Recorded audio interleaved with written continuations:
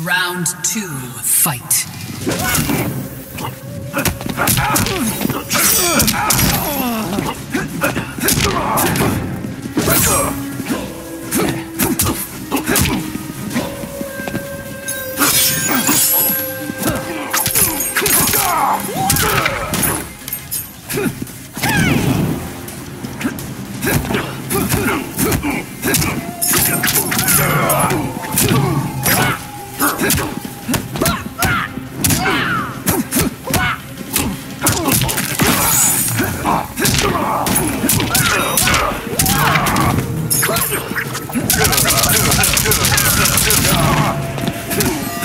Finish him.